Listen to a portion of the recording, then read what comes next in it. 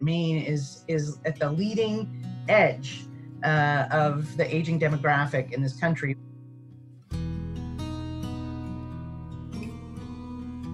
Focusing on benefits for family caregivers is the thing that rises to the top. They are our workers and they are our informal caregivers. We need them uh, to be strong and healthy and economically secure as they're providing this care, and they need to not um, be thinking that they're going to lose their job